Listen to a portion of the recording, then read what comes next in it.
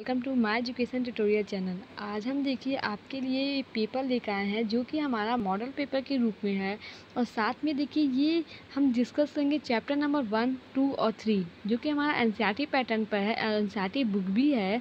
ये क्या है? चैप्टर नंबर वन है, टू है और थ्री है। तो आइए हम देखते हैं यहाँ पे क्वेश्चन क्या है। टोटल जो आपको समय मिलता है, जो टाइम आपका होता है वो कितना होता है? पंद्रह घंटे सॉरी, तीन घंटे पंद्रह मिनट। और ये जो पंद्रह घंटा है, पंद्रह मिनट है, ये क्या है? ये आपको पेपर यहाँ पे जो निर्देश दिए जाते हैं, उन्हें पढ़ने के लिए, साथ में पेपर पढ़ने के लिए आपको दिया जाता है। तो यहाँ पे देखिए, सबसे पहले हम आपको बता देते हैं कि आप ये निर्देश जो दिया जाता है यहाँ पे, उसे आप ज़रूर पढ़िए। क्योंकि यहाँ पे आपको बताया जाता है कि यहाँ पे आप किस तरीके से और कैसे आप इस क्वेश्चन को सॉल्व करेंगे। जो क्वेश्चन यहाँ पे रिज़ल्ट आंसर तो नहीं दिया जाएगा क्वेश्चन का। लेकिन आपको एक यहाँ पे तरीका बताया जाता है कि आप क्या करें जिससे आपका यहाँ पे जो पेपर हो, सही से आप उसे सॉल्व कर पाएँ। और देखिए यहाँ पे जो पूर्णांश होता है, वो टोटल सत्तर नंबर का होता है। कितने नंबर का हो? सत्तर नंबर का होता है, लिखित होता है और तीस नंबर आपको क्या होता है? प्रैक्टिकल के रूप में आपको स्कूल की तरफ़ से दिया जाता है। या तो जो एग्ज़ामिनर होते हैं, वो आपको यहाँ पे मार्क्स देते हैं। यहाँ पे देखिए कुछ निर्देश है, जैसे कह कहा कि इस प्रश्न में कुल पाँच पाँच प्रश्न मतलब हैं।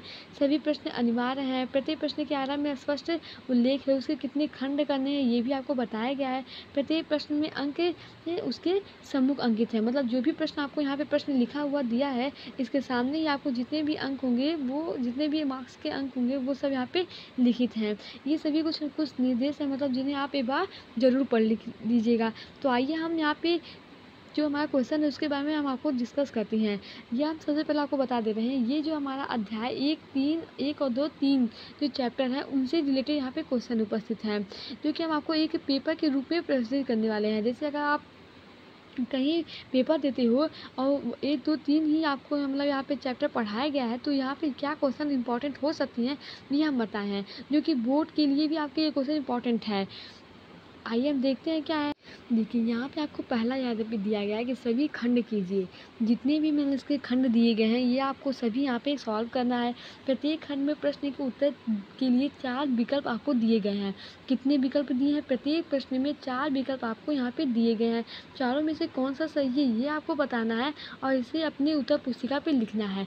क्योंकि देखिए, कई बच्चे होते हैं ना, वो कॉपी पे ऐसे करते हैं वन लिख देंगे फिर टू लिख देंगे मतलब इसमें वन, टू से क्या मतलब उन्हें आएगा? कि ऐसे फोर लिख देंगे तो आपको ये ऐसे नहीं लिखना है। आपको क्या लिखना है? जैसे अगर इसमें पहला है हमारा, पहले का इसमें कोई भी सही हो, जैसे हम आपको बताते हैं कि एग्ज़ाम्पल के रूप में लेते हैं, कि मान लीजिए आपका ये पहला क्वेश्चन है और इसका आप जो बी ऑप्शन है, ये सही है। तो आप इस प्रकार लिखेंगे, पहले का बी ऐसे आप क्वेश्चन में लिखेंगे। आधा अधूरा वहाँ पे लिखने से मतलब क्या है कि टीचर आप समझेगा ही नहीं और आपका मार्क्स वहाँ पे क्या जाएगा, कट जाएगा, वो ध्यान ही नहीं देंगे। तो अगर आप अच्छे से लिखेंगे तो टीचर पक्का वहाँ पे पढ़ेगा और उसे अब अगर सही रहेगा तो नंबर भी आपको यहाँ पे मिलेगा। तो देखिए यहाँ पे आपसे बोला था कि सभी खंड यहाँ पे दिए गए हैं। क है, ख है। ऐसे यहाँ पे देखिए, एक आप जैसे ज़रूर क्वेश्चन देख लीजिए। ये question chapter number one two three के हैं, जो कि बहुत इंपॉर्टेंट है। देखिए यहाँ पे पहला क्वेश्चन क्या बोला है कि यदि पैंसठ और एक सौ सतहत्तर की या सी एफ़ को पैंसठ यम या माइनस एक सौ सत्रह के रूप में व्यक्त किया जाए तो यम का मान क्या होगा? ये आपसे यहाँ पे पूछा गया है। तो अगर आप chapter number one two three अगर अच्छे से आप पढ़े होंगे तो इस क्वेश्चन को जो भी यहाँ पे क्वेश्चन दिए रहेंगे, आप उन्हें अच्छे से सॉल्व कर लेंगे। तो इस यहाँ पे देखिए अगला क्या है? ख वाला क्वेश्चन ऐसे दिया गया है। सभी यहाँ पे पाँच खंड आपसे बोला गया था, सभी खंड यहाँ पे दिए गए हैं। क है, ख है, ग है। देखिए, ये सभी यहाँ पे खंड आपको दिए गए हैं। अगर आपने मतलब ये आपके लिए तैयारी के लिए एक है मॉडल पेपर के रूप में है, अगर chapter number one two three आपने सॉल्व किया है तो इन सभी क्वेश्चन को आप एक बार ज़रूर सॉल्व कीजिए, क्योंकि ये इंपॉर्टेंट क्वेश्चन है जो कि आपके पेपर में आ सकते हैं। तो आइए हम नेक्स्ट अब देखते हैं, जो कि हमारे यहाँ पे चौ छठवा हमारा क्या है? च है। यहाँ पे देखिए, ये टोटल जो थी, वो एक एक नंबर के थे। मतलब जो हमारे छः क्वेश्चन यहाँ पे दिए थे ऑप्शनल में, वो कितने नंबर थे? एक एक नंबर के छः नंबर थे। अगर आपने छः क्वेश्चन सही से कर लिए मतलब जो छः सिक्स क्वेश्चन है उनका सभी सही आंसर आपने दिया है तो आपको यहाँ पे कितने मार्क्स मिलते हैं? छः मार्क्स आपका यहाँ पे फिक्स है। अब अगला यहाँ पे अगर हम देखें तो अगला यहाँ पे देखिए क्या है, बोला है दूसरा क्वेश्चन क्या है? सभी खंड कीजिए। मतलब जितने भी यहाँ पे खंड दिए गए हैं, क, ख, ग, ये सभी आपको यहाँ पे करना रहता है। तो क में देखिए यहाँ पे दिया है कि दिखाए कि फोर की पावर यन जहाँ यन जो हमारा है, वो क्या बिलोंग कर रहा है? वो बिलोंग कर रहा है। यन नेचुरल नंबर में बिलोंग कर रहा है। अर्थात यन का जो भी हम मान यहाँ पे लेंगे, वो नेचुरल नंबर में उपस्थित रहने चाहिए कि रूप में कोई संख्या कभी भी अंक शून्य, ज़ीरो पर समाप्त नहीं होती है। ये आपको यहाँ पे बताया गया है। आपको यहाँ पे शो करके दिखाना था यहाँ पे प्रूफ के रूप में है। ऐसे यहाँ पे क, ख, ग, घ टोटल चार क्वेश्चन आपको दिए गए हैं। और ये देखिए यहाँ पे एक एक मार्क्स के क्वेश्चन है। टोटल कितने नंबर के? एक नंबर के यहाँ पे क्वेश्चन हैं। अतः आप इन सभी क्वेश्चन को करते हैं तो आपको यहाँ पे चार नंबर आपका फिक्स है। तो टोटल नंबर आपका देखा जाए तो कितना हो गया? दस नंबर टोटल आपको यहाँ पे मिलेगा। अब अगला क्वेश्चन आप देखिए क्वेश्चन नंबर थर्ड क्या कहता है? ये तीसरा क्वेश्चन यहाँ पे यहाँ पे भी बोला कि सभी खंड कीजिए। मतलब अभी तक आपने जित, जितना भी देखा वन टू थ्री इसमें सभी में बोला था कि सभी खंड करना है। जितने भी इसके खंड दिए गए हैं उन उतने मतलब आपको यहाँ पे सॉल्व करना है।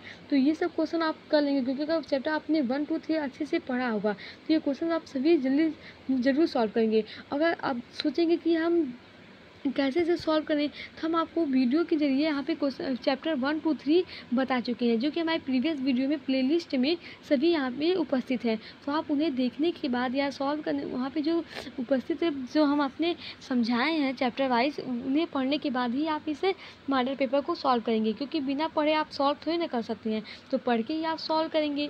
तो यहाँ पे देखिए, क क्वेश्चन क्या है कि दर्शाए कि प्रत्येक धनात्मक सम पूर्णांक टू एम के रूप का होता है, तथा प्रत्येक धनात्मक विषम पूर्णांक टू एम प्लस वन के रूप का होता है, जहाँ यम कोई पूर्णांक है। ये आपको यहाँ पे क्वेश्चन में दर्शाना है। ऐसे यहाँ पे जो क्वेश्चन है, देखिए आप क ख, ग, ऐसे यहाँ पे आपको दिए हैं। आइए देखिए कितने नंबर के हैं। ये सभी यहाँ पे दो दो नंबर के क्वेश्चन है। मतलब इसके पहले वाला, जो पहला वाला क्वेश्चन था वन और टू इसमें आपको वन नंबर के सारे क्वेश्चन दिए गए थे। और यहाँ पे जो तीसरा क्वेश्चन है तीसरा खंड है, इसमें आपको कितने नंबर दिए हैं? इसमें आप दो दो नंबर के क्वेश्चन दिए गए हैं। आइए अब हम नेक्स्ट देखते हैं अगला क्या है। सॉरी तीसरे वाला जो क्वेश्चन था, उसमें हमारा पाँच क्वेश्चन थे, जो कि हमारे कितने नंबर के थे? यहाँ पे दो दो नंबर के थे। तो दस नंबर आप पहले पहले वन और टू में दस नंबर पा चुके हैं, और तीसरे वाले में कितना पा गए यहाँ पे? दस नंबर। टोटल कितने मार्क्स हो गए आपके? यहाँ पे बीस नंबर आपके हो गए। अगर आप यहाँ पे सभी क्वेश्चन सॉल्व करते, देखिए मैथ ही एक ऐसा सब्जेक्ट है जिसमें मतलब एग्जामिनर मार्क्स ही नहीं काट सकता। अगर आपका सही है प्रो मतलब सही सही तरीके से आपने टोटल लगाया है सॉल्व किया है तो आपके एक नंबर भी नहीं कटेंगे। वैसे तो हिंदी में क्या होता है, आप हिंदी में भले ही सही लिख के आते हैं, लेकिन कभी आपको फुल मार्क्स वहाँ पे नहीं दिया जाता है। मतलब ज़रूर जैसे दस नंबर का है तो भले ही आपने सही लिखा है मतलब आपने जो पढ़ा था वही आप लिख के आए हैं, फिर भी आपको इसमें से क्या होगा, नौ या आठ नंबर आपको देंगे। एक दो नंबर यहाँ पे काट लेंगे आपकी। तो ये ऐसा मैथ में नहीं होता है। मैथ में क्या होता है मैथ में आपको जितना सॉल्व करेंगे, उतना ही मार्क्स मिलेगा। आपका सही है तो गलत में नंबर थोड़ी ना देते हैं। तो जगह आपका सही होगा तो आपको मार्क्स यहाँ पे फुल मिलेगा। अब देखिए यहाँ पे अगला क्या है? चौथा है कि सभी खंड कीजिए। इसमें भी आपको यहाँ पे सभी खंड करना है। टोटल यहाँ पे देखिए पाँच क्वेश्चन दिए गए हैं। कितने क्वेश्चन दिए गए हैं? पाँच क्वेश्चन यहाँ पे आपको टोटल दिए गए हैं। ये सभी कितने नंबर का है? ये सभी हम यहाँ पे सही आपको दिखाई नहीं दे रहा होगा, लेकिन ये सभी कितने नंबर का ये सभी चार चार नंबर के पाँच क्वेश्चन आपको करना है। अर्थात बीस नंबर आप क्वेश्चन नंबर थर्ड तक पा चुके हैं। चौथे नंबर कितना पाए? बीस नंबर बीस बीस, चालीस मार्क्स आपको यहाँ पे प्राप्त हो चुके हैं। तो यहाँ पे देखिए, पहला क जो है, वो क्या कहता है? बिना लंबी बिना लंबी विभाजन प्रक्रिया की ये बताइए कि निम्नलिखित परिमेय संख्याओं में से किसके दशमलव प्रसार शांत होंगे और किसके अशांत है?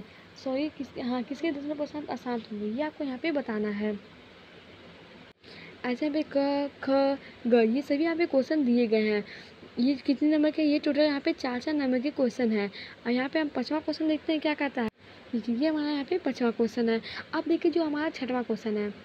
सॉरी ये अंग था, पाँचवा मतलब चौथे का अंग वाला था। अब पाँचवा क्वेश्चन हमारा ये कहता है कि सभी खंड कीजिए। इसमें भी आपको सभी खंड करना है मतलब एक भी क्वेश्चन आपको यहाँ पे छोड़ना नहीं है। मतलब आपको नहीं आएगा तो आप छोड़ ही देंगे, लेकिन अगर आपको आ रहा है, करने के लिए पेपर में तो यही कहा कि सभी करना है ये भी आपको छोड़ना नहीं है। तो देखिए अभी पहला बोला है, और ये टोटल कितने नंबर के ये टोटल छः छः नंबर के यहाँ पे क्वेश्चन दिए गए हैं। और टोटल कितने नंबर के यहाँ पे? पाँच क्वेश्चन यहाँ पे दिए गए हैं, जो कि छः छः नंबर के हैं। अर्थात देखा जाए तो छः छः छत्तीस क्वेश्चन आपके यहीं पे, छत्तीस नंबर आपको, नहीं छः पंजे तीस सॉरी देखिए पाँच क्वेश्चन है यहाँ पे टोटल और कितने नंबर के हैं? छः नंबर के। अर्थात तीस नंबर आपको यहाँ पे मिल गए। और चालीस नंबर हम क्वेश्चन नंबर चार तक पा चुके थे। तो चालीस तीस कितना हो गया? सत्तर। अर्थात टोटल यहाँ पे जो आपका पेपर है, वो सत्तर नंबर का है। और आप यहाँ पे कितने मार्क्स पाए हैं? आप यहाँ पे सत्तर नंबर पा चुके हैं। अर्थात जब आपका पेपर मैं सॉल्व कराऊँ या मैं बताऊँ तो आपका फिक्स है। कितना मार्क्स फिक्स है? सत्तर नंबर एक भी नंबर आपका कट होने वाला नहीं है। क्योंकि मार्क्स कौन दे रहा है? मार्क्स तो हम ही दे रहे हैं। इसलिए आपका सतर्क ना फिक्स है। देखिए, टीचर कभी नहीं चाहेगा कि हमारा जो बच्चा है वो फेल हो या कम मार्क्स पाए। वो अपनी तरफ़ से पूरी कोशिश करते हैं। अगर बच्चे लिखेंगे ही नहीं तो नंबर कहाँ से देगा? तो आप देखिए क्वेश्चन तो एक भी मत छोड़ के आइए। क्वेश्चन सभी क्वेश्चन करके आइए। गलत ही कीजिए, लेकिन प्रयास तो कीजिए। बैठने से अच्छा है कि आप क्या करें उस पर प्रयास कीजिए। शायद टीचर को दया आ जाए और आपको वहाँ पे एक नंबर दे दे। भले आप गलत ही किए होंगे, लेकिन अगर उसको दया आ गई तो आपको क्या करेगा? एक नंबर दे देगा। तो आपके एक नंबर काउंट तो होगा। वैसे बैठने से आपका कोई फ़ायदा होगा नहीं। तीन घंटा बैठ के आप क्या करेंगे? इससे अच्छा होगा आप सॉल्व करिए। यहाँ पे देखिए, क दिया गया है, ख दिया गया ऐसे यहाँ पे दिए गए हैं जो कि कितने नंबर के यहाँ पे? छः छः नंबर के क्वेश्चन हैं।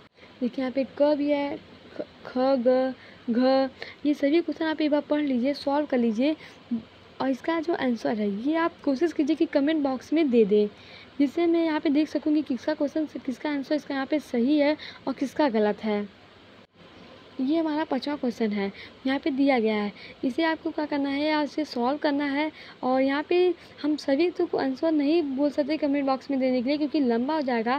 सिर्फ़ यहाँ पे जो पाँच क्वेश्चन है, क, ख, ग, घ अंग जो जो कि छः छः नंबर के क्वेश्चन है, इसका आंसर आप कमेंट बॉक्स में ज़रूर दीजिएगा।